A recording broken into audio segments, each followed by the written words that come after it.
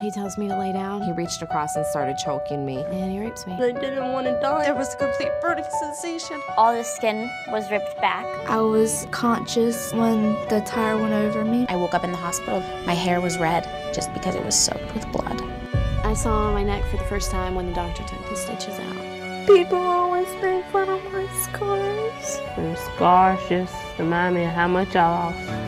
Every time somebody stares or points or asks questions, it's just me reliving what happened that night. You know what the good thing is? These things can be fixed. You deserve to have the face back that God gave you. I want to be me again. For me to be able to give her back a normal appearance so she can grow up to be a normal and mature woman, that's all I need. I don't know if I can ever recover from that. How has that impacted your role to be her mother?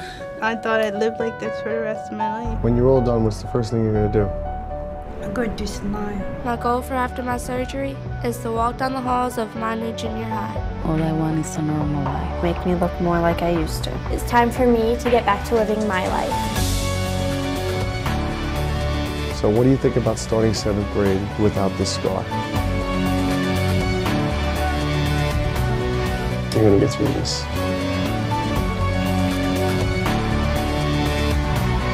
Her face, the doctor just did a wonderful job.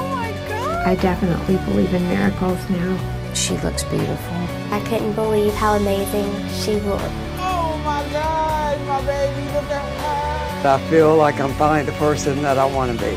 This is the first day for Alyssa to start over again, and she will. With everything that's changed, you look fabulous. Thanks for letting me take care of you. Take the pain that you had suffered and turn it into such power. This is like closure for me. I'm happy because you changed my life. I'm so happy that you made the journey with me. Thank you. You're all time.